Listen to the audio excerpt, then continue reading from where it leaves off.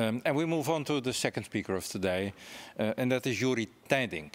Um, he is a psychiatrist and also associate professor of research integrity in two departments. Um, one is philosophy, and the other one uh, is the department chaired by Mariette van den Hoven on ethics, law, and medical humanities, uh, both in Amsterdam. Um, and he's also a work package leader of one of the European um, uh, funded Horizon 2020 programs called SOPs for RI, Standard Operating Procedures for RI. And in that project, in that huge consortium, we make guidelines for research institutes and for funding agencies on how to promote responsible research practices. But Today's topic is one of his favorites, and it's about um, supervision and how to empower supervisions to do the right thing for the supervisees and, and help them to engage in responsible research practices. Um, Joeri, the floor is yours. Well, thank you so much. I'm going to get my the, uh, the, this one. I need this one to, uh, to move on to the slide. Thank you so much, Lex, for this uh, kind introduction. And also thank you uh, very much, uh, NRIN uh, and Doreen specifically for inviting me to give this talk on uh, super, super, supervision in academia. Um, I, have to, I have to start, of course, to say, well, I'm a big uh, fan of supervision. I think supervision is one of the key elements in uh, how we can make academia a little bit better and how we can make research better and more reliable. And therefore, um, uh, I have to say this because I'm, I'm going to be talking positive about uh, the importance of uh, supervision. So that's uh, some sort of not a conflicting interest, but it is an interest. And secondly, I've seen it from from another perspective as well. How how important supervisors are. And then I refer to my training as a psychiatrist. Um, it has always been a big, big learning curve when you, when you work with professors or with a senior psychiatrist who do the trick, who, show, show, who had showed me how to become a better psychiatrist. And supervision in academia and, and specifically supervision of PhD students is actually focusing on this. And that, that's why supervision is so important because you, you, you need those supervisors that, that show you, that give you the right example, that, that, that is gonna, that, that are helping you to become a better and more responsible researcher. So having said this, uh, let's uh, let's mo move on to this talk. What are we going to discuss today? So I'm, going to briefly outline what I consider uh, uh responsible supervision. Uh, I'm going to tell you a little bit why I think it is important. Uh, I'm going to take you in my thought process, take you with me in my thought process to discuss a little, some studies that we already did. One of them is the Superb Supervision course Mariette just referred to, and the other one are the guidelines indeed of um, uh, of the uh, of the SOPs for I project that are specifically targeting supervision. Uh, and then hopefully we can have some discussions and we can also look towards the future. What what what is needed actually to make supervision even more important in academia? Because I also believe that there are a lot of really good supervisors out there that do a magnificent job to train their PhD students really well. But I also know that there are also some lousy supervisors out there that hardly give a lot of attention to, uh, to, to supervisees or to their PhD students. So I start with my take-home messages. I, uh, I'm, I'm, I'm, not always doing this, but I think these are the six, uh, six points that I would really like to make. So after my talk, I hope you, you, you know a little bit more about these uh, uh things of course, that we can do a lot uh, to make supervision better, uh, that we are leading and learning by example, uh, so that we really need good supervisors, responsible supervisors to, uh, to, uh, uh, to learn, specifically for PhD students. supervision is pivotal in, uh, in conveying research integrity, pivotal in, in, conveying research integrity. Institutions can take a more prominent role in putting supervision on the pedestal of, uh, as key ingredient of responsible research. And I think this is also very important that oftentimes uh, institutions do not take this role. Uh, they consider it an individual responsibility, but it uh, it goes hand in hand, both the individual responsibility, but also the uh, institutional uh, responsibility. And don't forget, um, I think supervision is one of the most fun parts of, of doing research because you do it together. You need to collaborate. Sometimes you need to lead. Sometimes you need to follow. You're learning a lot from your younger students because they sometimes they know more of you. Uh, there's a lot of, there's so much, it, it entails so much. So uh, that's, uh, don't forget that it's a lot of fun. So what is it, uh, we start with what is exactly responsible uh, supervision, what I consider responsible supervision.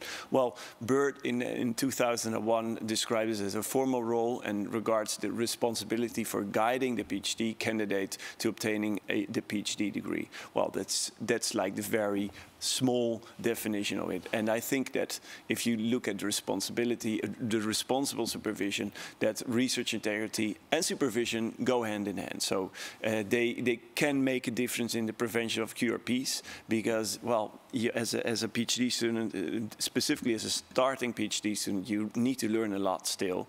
And, um, and, and, and of course, in the, in the very complex research process, you need someone who is guiding you to, uh, uh, through the process.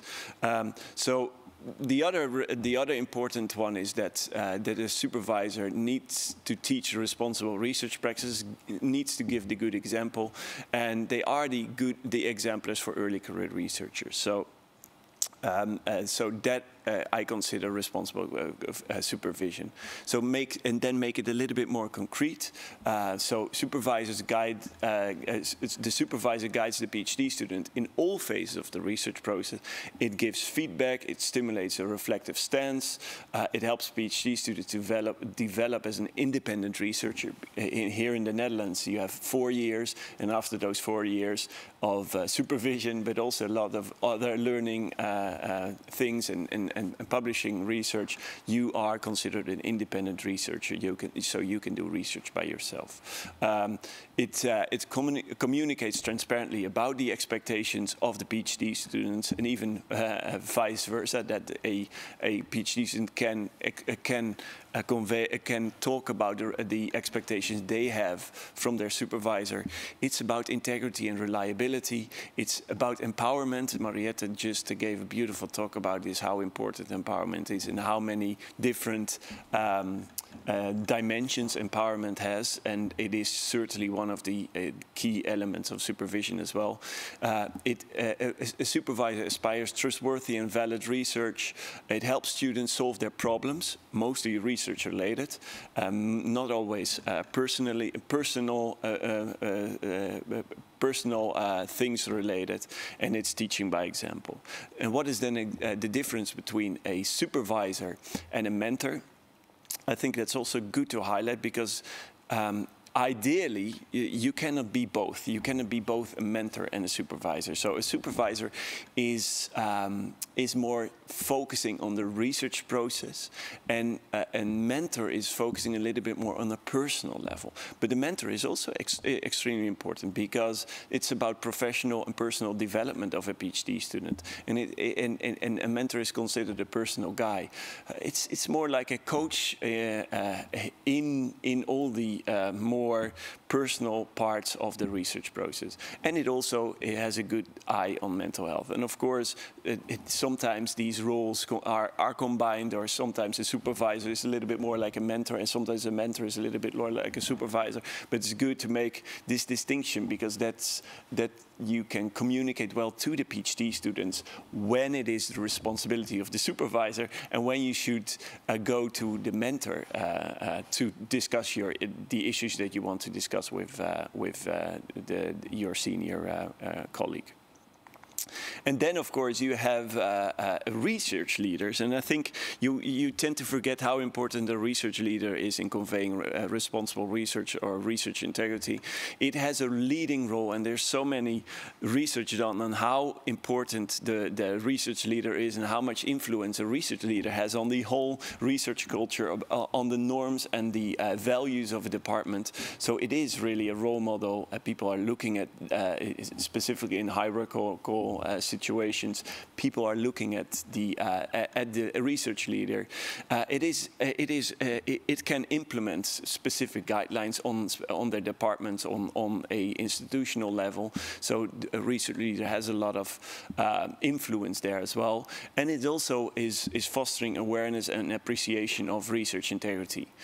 But again, um, you are dependent of leadership styles, and some styles are, are, are, are can, can, um, can convey responsible research so much better than, um, uh, than others. So I, I just gave two, uh, uh, the spectrum of leadership styles. On the one hand, you have the more autocratic leader, and the other one is more like a democratic and a, uh, uh, uh leading by example leader. Um, and they do have an influence. And that's also something that we touch upon uh, uh, in this talk. So again, why is it important? Um, um, and this is a figure, I, I, I, some of you may have seen this already, and I think that I, it clearly uh, underlines how important a, su a supervision is, uh, basically, because it is a long road. Research, doing research is, not, is, is complex, it's not easy, and you need to take a lot of different steps. Um, it's, of course, it starts with an idea or an hypothesis or an aim of what do you want to study, but then you need to design, then you need funding, then you need approval, then you need to write uh, uh, data analysis plans or data management plans, then you, and then uh, and you need uh, approval from a medical ethics committee. Um, um, then you have to do the experiment, then you collect the data, then you analyze it, you do an, a secondary analysis. Hopefully, you ask a, a, statistician to help you a little bit with the analysis. You start writing, uh, then you, in the meantime, you you continuously collaborate with your co-authors about the whole research process, but also about the writing, and then eventually you uh, have the uh, opportunity to, to submit it, of course. But the submission is definitely not the end of your research process because then starts the the uh, uh, the difficulty uh, uh sometimes because you first think, well, my research is beautiful, it should be submitted to nature because nature will be interested in this. But of course, well, after a, a, a, quick desk rejection from nature said, well, it's not, it's not something that we want to publish. So you submit it again and you get rejected and you submit it again and get rejected. Finally, you reach, uh, uh you have uh, a, an editor who's really, who likes the research uh, and thinks it's good. So they, send it out for peer review. There are reviewers that are extremely harsh on you. You have to revise it, have to rewrite it it again, and then you have this final publication and the satisfaction about this very long and tiring process. Why I'm showing you this and telling you this is, of course, that you cannot do it by yourself. And specifically PhD students, when you do this for the first time, you need guidance in every step of this research process. And therefore a supervisor is so important because it can go wrong. I mean, it's so complex. So if you have the right guidance, you can make, you can make these steps and finally you will be there. But, but therefore supervision is essential. Um, and if we look, and we did uh, several studies here in Amsterdam uh, uh, uh, on, on the, the occurrence of research misbehaviors, and we have a top 60 that we send out to researchers, but also the research integrity experts, um, and ask them, hey, what do you think is the most impactful uh, research misbehavior? And in both studies, the, the first and foremost uh, research misbehavior that is um, that is highlighted there is the, uh, the insufficiently supervisor mentor junior co-workers. Um, so we have uh, I hope I can highlight here that how important supervision is uh, in the whole research process and how, uh, and how much emphasis we should put on supervision to make it a, uh, to make research uh, more trustworthy and reliable and, and make research uh, to create responsible research, engage in responsible research practices. So um, and it's not only the research process by itself, it's also navigating through the research process or the publication process with, um, and I, I always use this figure, and I still, after, after 10 years, I still like this figure, um, because it's, it's me, the bold guy, uh, and wanting to publish my beautiful research, and there are a lot of people that that are going to critically uh, uh, give feedback on my research to improve it, of course. But you can uh, you cannot succeed if you are, are have bad luck. You you you're just unsuccessful. You cannot publish your paper. So that's why you also need a supervisor who can guide you a little bit and give you the right example and the right expectations in the research process. So um, uh, with this introduction, I'm, I want to highlight several studies that we did here in Amsterdam, and I'm very proud to uh, to uh, to discuss them with you because uh, it has been a, uh, a lot of um, um, uh, thinking and uh, in the, and and uh, a lot of great talented researchers. we did it, this together. So first, I'm going to zoom into what can individuals do, and, and I'm going to talk about the results of the superb supervision course. What can institutions do? I'm going to talk about the guidelines that we have created and we're currently implementing in, in research institutions. And what should the system of science do? And, uh, and then I'm going to talk about a little bit about the recognize and reward supervision in the, uh, in, the, in the new criteria, how we should reward and how we should promote researchers and what criteria should we use there. So first of all, I'm going to zoom briefly into the superb supervision course. Um, uh, recently, uh, uh, Tamarinde Haven and I and, and, and colleagues, we uh, published a preprint about this course and about the potential uh, uh, impact of this course. So what we what we did, we designed a three-day training program, and where where we combined the the research integrity tools with soft skills because we think that they really are they they are they need they need each other because you can of course you can have tools, but you also need the soft skills to make these tools uh, a part of the research behavior of your uni junior coworkers, and therefore you have to train supervisors how they can improve their supervision skills, both the soft skills but also the research integrity skills. Uh, what we did is that we send out a survey with a specific rescue rescue questionnaire. It's not validated yet, uh, but uh, it, it measures the impact of uh, supervision, mean both supervisors, but also in PhD students. And I think it's, it's, it's beautiful uh, to, uh, to also measure the impact on PhD students because that's, that's why we are, uh, why we want to improve supervision, of course. Uh, we did an evaluation uh, survey and we also did some, a, a couple of focus groups to see how the course is perceived by the participants. Um, so just getting a little bit more into the details of, of both the soft skills and the uh, research integrity tools. Uh, what we teach uh, the, uh, the participants is uh, rigorous methods, of course, pre-registration, data analysis plans, publication plans, preprints, open science practices, navigating through research integrity dilemmas. Those were more the, like the research integrity skills that you learn in the course.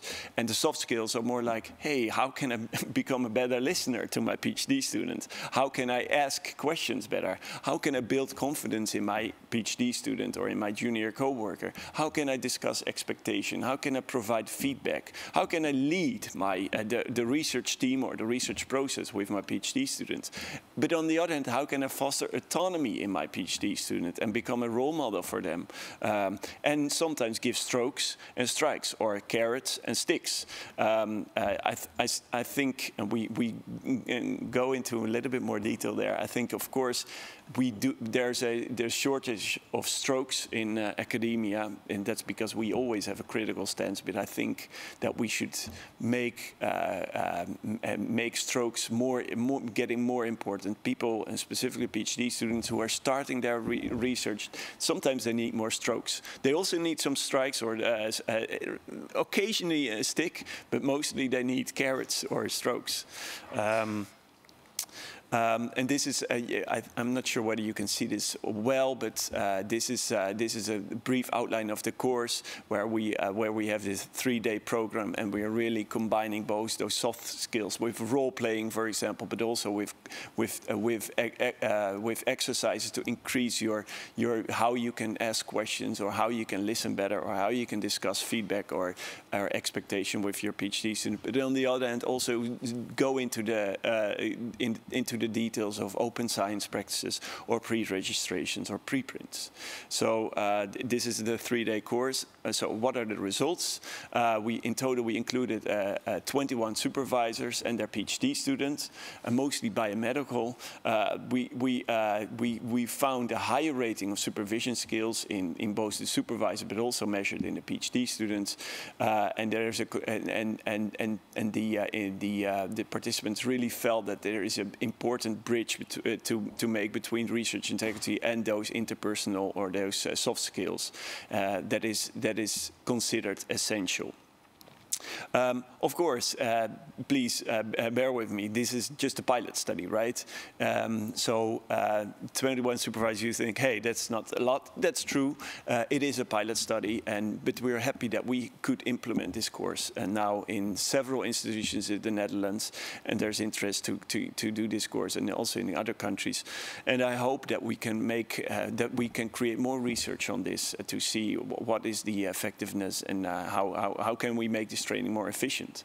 Um, some uh, some other things that we learned is that we um, um, uh, we I think it's very important to measure the impact of the recipient of the of the of the supervision. So not only measure the impact of the supervisor, but also measure the impact of the training on students, uh, uh, because they are the ultimate target of supervision, and all although making it mandatory like, like these courses. We briefly talked about this in uh, in the discussion with uh, with uh, Professor Bouter uh, in after the, after in discussing with Mariette. Um, I think making it mandatory may feel like a way forward, but it's also very co complex to make it mandatory because then you um, then you make then then you well then then for the for the non-believers sometimes I don't think that these kind of courses are are completely justified and that they are, really have this uh, growth mindset to become a better uh, supervisor if you make it mandatory. So, and that's that was also perceived by the participants that the uh, um, uh, uh, that they don't think that making mandatory is the best implementation strategy. So that's about the individual level. And then we go to the institutional level, and we, we briefly talk about the SOPS4RI project. Uh, it's not the, the nicest name, but uh, it is a, a, a, well, um, um, it, it, it's a little bit weird to say uh, from my perspective, but I think we do a lot of we we have created a lot in this uh, project, and and we have uh, and we're trying to make a, a, difference here for institutions. So we, we we always tend to focus on the individual, but this project is really focusing on improving and fostering a responsible conduct of research in institutions, and therefore we have we we're both focusing on uh, research performing organizations (RPOs) like universities or institutions, and research funding organizations.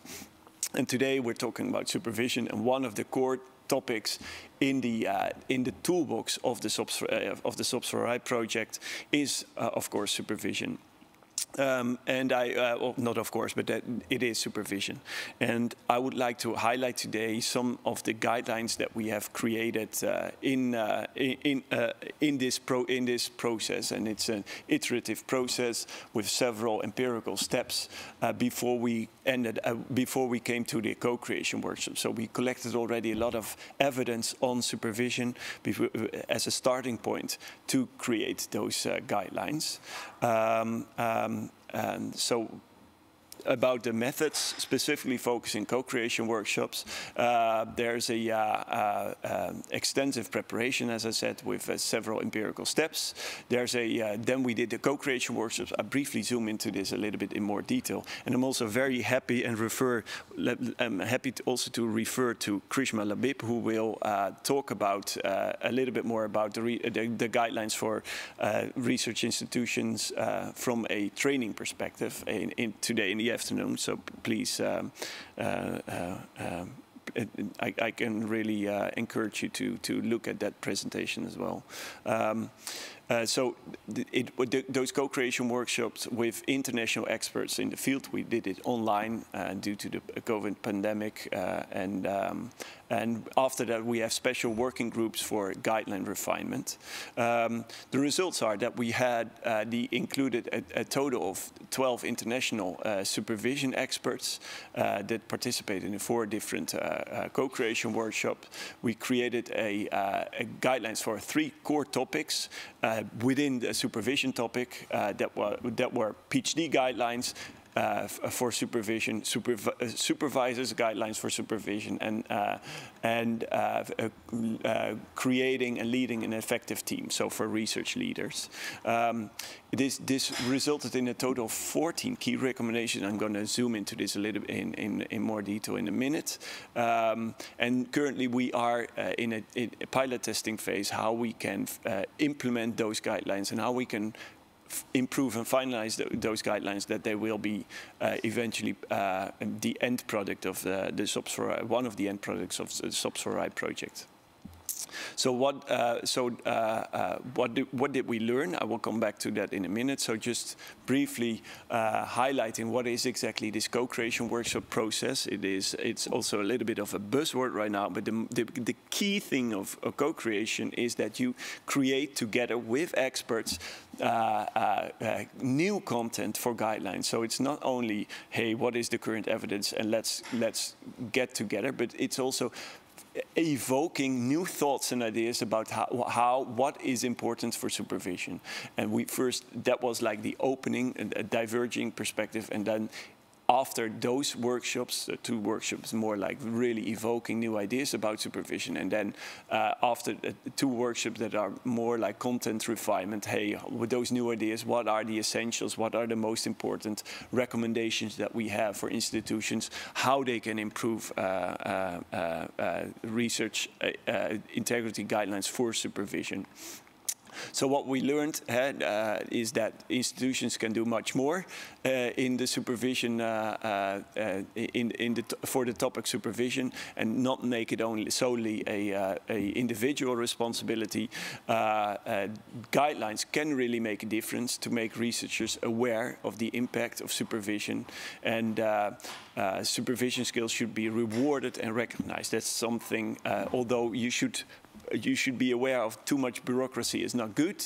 Um, uh, it, it is important that uh, that supervision skills and uh, should also be rewarded because that can help researchers um, uh, in, um, uh, in, in putting more emphasis and putting more interest in, in supervision itself. And then finally, guideline creation is fun. It may, may, for some, it may sound a little bit boring, but I think in this process, with talking with experts and trying to evoke new thoughts and ideas, it's a very creative way of finding the es essence and, and the, the essence of uh, supervision. So what came out of it, uh, I already talked about the three subtopics or the three topics that were, deemed most important in supervision. The key recommendation for PhD uh, guidelines is create PhD trajectory guidelines specifically focusing on supervision, provide training and support, uh, for example, training how to deal, how to how to uh, deal and regulate your supervisors, how to promote, uh, also promote a written record uh, of agreement, and provide independent bodies to consult. And that can be about uh, mental health of uh, of your PhD students, but it can also be about peer support. How how can you create a, a structure that your your PhD students get to know each other and can learn from each other. Uh, and the supervisor guidelines, they are, are slightly similar. So, so a, a, institution, you have to uh, take in, mind, take in mind the institution, and on an institutional level, you want to know the requirements for supervision. And this is, so the create supervision policies and guidelines is really about can you communicate well? What are the requirements for supervision? Uh, you provide supervision training, um, uh, you stimulate positive interaction with supervisees, and you recognize and reward good supervision. So in concrete, how can you make this uh, concrete?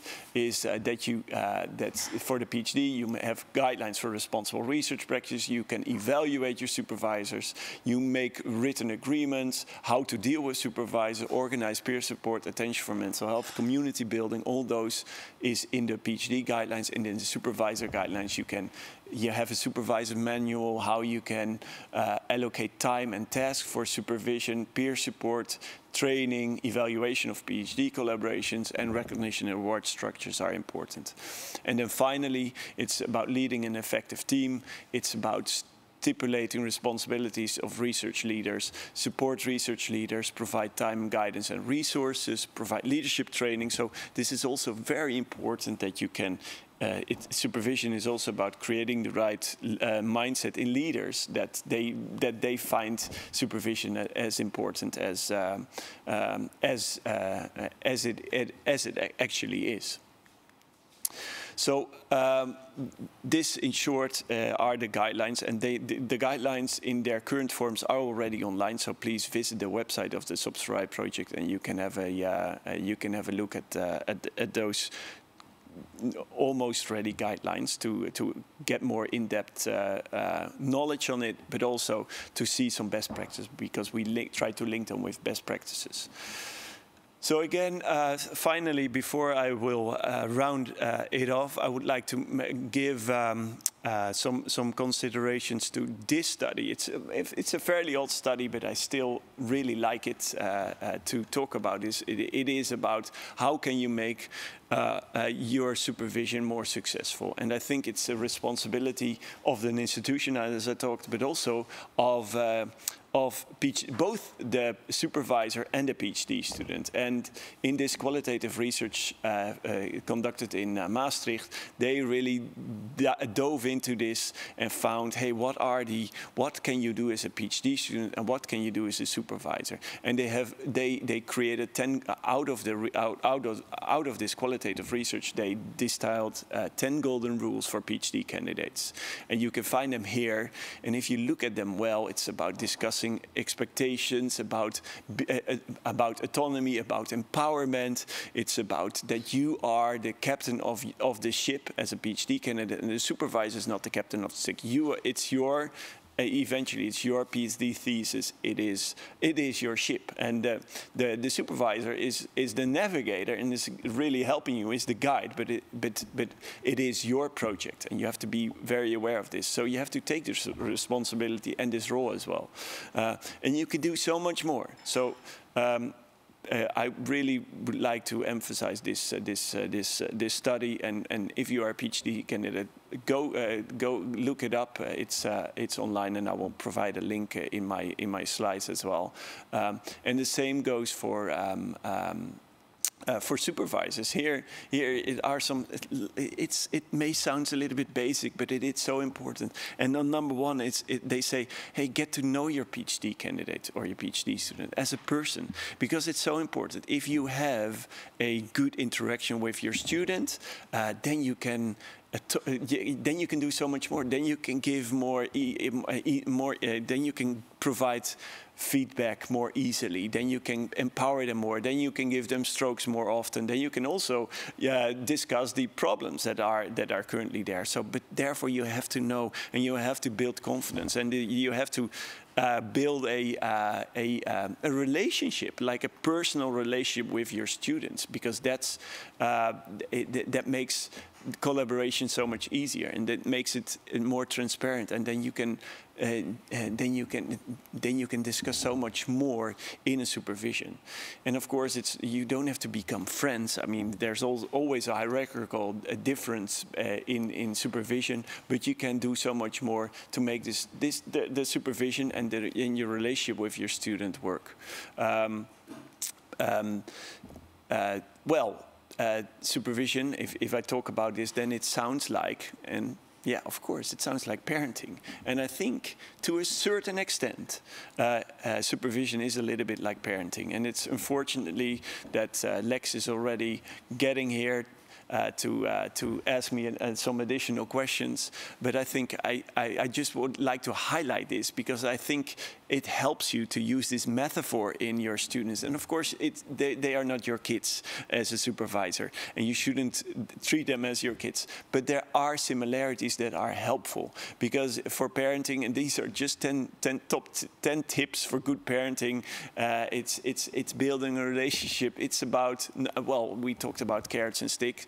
It's important that you don't. Uh, um, uh, I think it's uh, somewhere here. Well yeah, here that you cannot spank your your your your kids. Well, of, of course, very important. You cannot do that with your PhD student as well. But it is it has a lot of it, it's about the carrots right you want to give them as much carrots as possible and sometimes you need a you need a, a, a, a stick figuratively speaking um, so i think ha having this method, using this metaphor in, your, uh, in, in if you reflect on your, your relationship with your PhD student, I definitely don't want to encourage you to become a parent of your PhD student. No, that's not, that's not my point. My point is that it helps you if you get to know your PhD student a little bit better, then uh, the, there are some similarities that can help you in how you want to raise your PhD student to a certain degree. And therefore, you need to show show them what is good behavior and what is bad behavior. And it's the same for research. You have to know what good research is and what bad research is. And that's something that you have to teach them as a supervisor. So um, uh, um, we can do we can do much better. And these are my ultimate slide before we go back to my take-home messages. Uh, we can, on the individual level, we can teach supervisors to become better supervisors and that to become better uh, uh, uh, uh, guides for, for PhD students. And therefore, you need it, it takes two to tango. So you need to build a relationship with them. You can, institutions can use guidelines to improve and, and the awareness for good supervision and responsible supervision.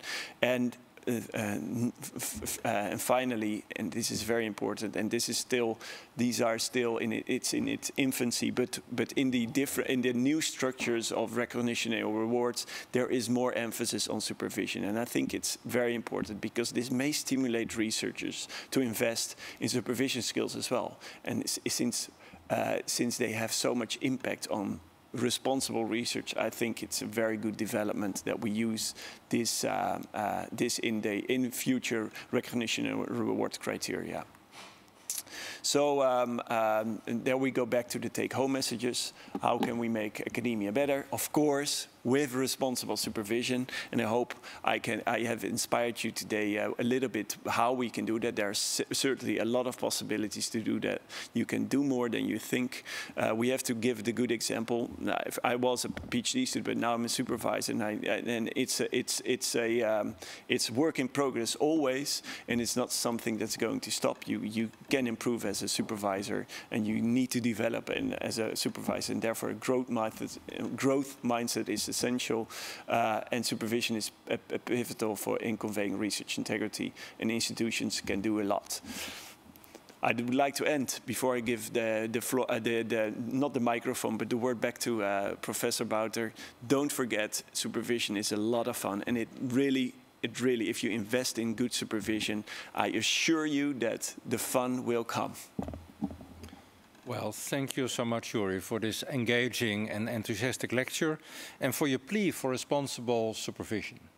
Uh, we, we, do have an, an, a number of interesting questions, but please go ahead, uh, you at home behind your desk, if you have more, we can use one or two more. Uh, Krishma Labib has an interesting question for you, Joeri. She says, well, you explained that supervision and mentoring is different, different roles. Um, so what should institutions do? Should they allocate not only a supervisor to a PhD student, but also a mentor? And thinking more closely, should every mentor not also be a little bit of a supervisor and the other way around? Yeah, yeah. I think this is an this is an important question, and uh, in an ideal situation, uh, this is this is actually what what some departments do. So they have the supervisor that's more engaged in the research process, and they have a mentor on a different department, and that's just like a a, a helpful um, a person who's taking this mentor role, and that can only be a meeting once a month or once every two months. Uh, if there are problems with your in your relationship with your supervisor, of course. So it, a mentor does can help in navigating better if, if the relationship with your supervisor is not well. So that's one thing that a mentor can really be beneficial. And the other thing is that uh, we know, and that's another dear topic of mine, that mental health problems exist in academia. And specifically in, in, in, in early career research, there's a lot of pressure on them. And sometimes it is not the task and, it, and the supervisor is not equipped to talk about these issues so easily because it also affect, may affect their hierarchical relationship. So therefore a mentor can also do a lot of extras. But having said this, this is the ideal situation, and it is not always feasible to organize this in the department. I mean, um, that that is a lot of work, and uh, the, it, since supervision is not rewarded so much, and mentorship is not rewarded uh, uh, neither. So it's going to be a hard nut to crack, uh, I think, uh, currently at, uh, at the uh, departmental level. Yeah. One, one, one thing I would like to, I, I just showed this slide, and I forgot uh, forgot to do this, but um, sorry, sorry, but I really like to re research, and what we presented today is a team effort. And here I, I just say, I just want to highlight the, my, my dear colleagues who did a lot of work. Uh, we did this really together, and I I probably forget uh, uh, some researchers here as well, but I think it's really important that the things that we presented, that I presented today, is really a team effort. Yeah. Uh, talking about teams, you say ideally you get a mentor and a supervisor as PhD student. Um, in, in the Netherlands, we now, all universities have mandated that a, a supervising team of PhD student should have at least two persons, up to four. What, what are your views on that? Because these people might have different opinions, and be pulling in different directions. Yeah. Wouldn't they make the problems bigger instead of uh, uh, smaller? Well, I no, I think I, I think it's a beautiful. Well, if we if we look at the ultimate goal is to to uh, of course to create uh, responsible research, uh, but also to develop as a researcher, to make to create a, a person, a, an independent researcher. And I think it's you need different styles and you need different role models, or, or at least supervisors that can help you, because you have to look at them as well. And some things you learn from one supervisor and some things you learn from another supervisor. And well, we have uh, supervised uh, together, uh, uh, uh, Lex, and I think it's a beautiful combination because some things they really learn from you that I cannot give them, and some th things they learn from me that you are um, maybe a little bit less focused on. So I think it's it's a great way to to become a more to to to build build your qualities and build your your your skills as a researcher, as a junior researcher. Yeah. Another issue, um, Tamarinde Haven is raising that um, you, you, you plead for use of the, the guidelines from the standard operating procedures on, on, on supervision. But, but how can um, an, an, average supervisor know that these things exist? What, what, what is the idea? How, how do you bring them in contact with that? Yeah, well, this is this is a, actually a really good, but a, a, really good question, but also a difficult question. And of course, it starts with awareness, uh, with a research leader that is actually focusing, emphasizing research integrity first, that knows about the existence of these guidelines. And of course, these are, are, very early guidelines, and and now it's it's, get, it's getting to develop, and we're trying to implement it and to give it as much noise as possible. We already talked about briefly about the embassy. I mean, so, the embassy can can can give uh, information about it, can can can be a good uh, uh, good platform to uh, to spread the word, and it's uh, it, it is it's also a matter of um, of of of of time. I mean, now we think it's it, this is very important uh, and, and ho let's hope that in 10 years uh, it, it's becoming uh, mainstream. So I think this is still in its uh, infancy um, uh, if we look at guidelines for supervision. Uh, it's new, so we have to we have to join forces and, and make this make them visible as much as possible. Yeah. And maybe we should broadcast your lecture in prime time on television. no. uh, but, but anyway, uh, um, Doreen, Doreen van der Schot, the NRIN coordinator, she asks a question. She says, well, um, what has all this to do with how we e evaluate, how we assess um, staff in academia? Uh, is, is there a role there as well to, to improve uh, supervision and supervisors and draw attention to that in, in a positive way? Yeah. Yeah, this I think this is this this uh, this alludes to the fact that we want to make them criteria in in recognition and reward, right? That we that we not only look at well, this is it's it's already quite old school, at least in our fields, to only look at publications. Of course, publications, a number of publications and impact factors, they have a certain role, but there are other important qualities, and it starts with emph putting emphasis on these qualities as well. And that's it, it, it starts at the institutional and departmental level. If we focus on, uh, on at, at, least try to measure it, right? To have some measurement instruments, hey, this supervisor is, uh, is good. Um, uh, and that the department knows that the supervisor vision is good, that is really uh, putting emphasis. I mean, that's, that's at least a start. There are, of course, awards for good supervision is something that can help. Um, so we have to make it more visible in the on the departmental level. And that's, it's not easy, but, uh, but there are a lot of tools already uh, to do that. Final question, and you've seen this coming. W what about a license to supervise? yeah, yeah. It's so weird that we need a license for about everything, including yeah. teaching in universities, why not a license for the most important thing you do as part of the academic staff in, in academia? Uh, and, and shouldn't we also have uh, ways to withdraw the license when someone really misperforms? Yeah. Yeah, I think um, the, the, two thoughts. Uh, I, th I, think I, I, know, I know that it, it, that you are a fan of uh, of some sort of license. I think it would be a beautiful way because then you uh, you you also select right? Because it's not it's not per se necessary that you have to be a good supervisor right? You if you have other qualities and you don't want to engage too much in supervision I think that's perfectly fine. Um, uh, but we can really a, a license will help um, also students to choose uh, where you want, who you want to get, from whom you want to get supervision.